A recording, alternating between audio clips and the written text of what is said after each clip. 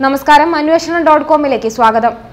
സമയം പോലെ പറ്റിക്കൂടുന്നവരല്ല എൻ എസ് എസ് എന്ന ജി സുകുമാരൻ നായർ. സമയം പോലെ പറ്റിക്കൂടി നിന്ന് നേട്ടമുണ്ടാക്കുന്നവരല്ല എൻ എസ് എസ് എന്ന് general secretary G Sukumaran Nair. N S S പ്രവർത്തകരിൽ ഭൂരിഭാഗവും ഇടതിനൊപ്പമാണെന്ന സി പി എം സംസ്ഥാന സെക്രട്ടറി കോടിയേരി ബാലകൃഷ്ണന്റെ അവകാശവാദത്തിന് മറുപടിയായാണ് ഇദ്ദേഹം പത്രക്കുറിപ്പ് ഇറക്കിയത്. Kerala Samrakshana Yatra Kodiyeri N S S തങ്ങളോടൊപ്പമാണെന്ന സൂചന നൽകി സംസാരിച്ചത്.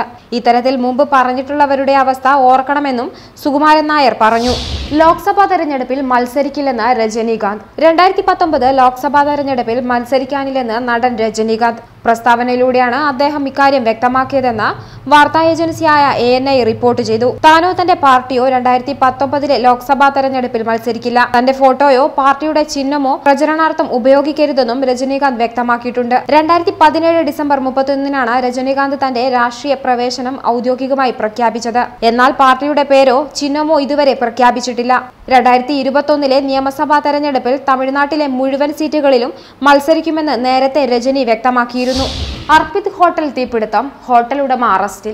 മൂന്ന് മലയാളികൾ ഉൾപ്പെടെ പതിനേഴ് പേരുടെ മരണത്തിന് കാരണമായ കരോൾബാഗിലെ അർപ്പിത് ഹോട്ടൽ തീപിടുത്തത്തിൽ ഹോട്ടൽ ഉടമയെ അറസ്റ്റ് ചെയ്തു. അർപ്പിത് ഹോട്ടൽ ഉടമയായ രാകേഷ് ഗോയാലിനെയാണ് ദില്ലി പോലീസിന്റെ ക്രൈംബ്രാഞ്ച് അറസ്റ്റ് ചെയ്തത്. ദില്ലി ഇന്ദിരാഗാന്ധി എയർപോർട്ടിൽ വെച്ചായിരുന്നു അറസ്റ്റ്. ഗോയാലിനെ കൂടാതെ ഹോട്ടൽ മാനേജറെയും അസിസ്റ്റന്റ് മാനേജറെയും പോലീസ് നേരത്തെ അറസ്റ്റ് ചെയ്തിരുന്നു. കോടതിയിൽ ഹാജരാക്കി കൂടുതൽ ചോദ്യം ചെയ്യലിനായി പോലീസ് കസ്റ്റഡിയിൽ വാങ്ങും.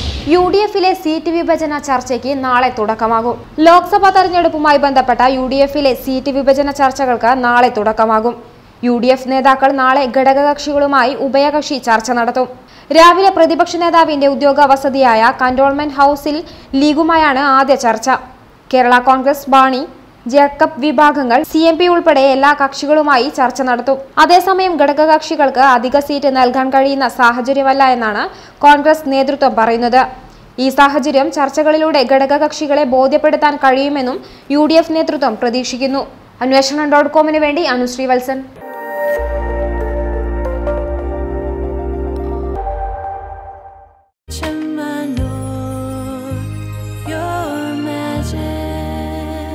Trusted tradition of 155 years. Chemanur International Jewelers.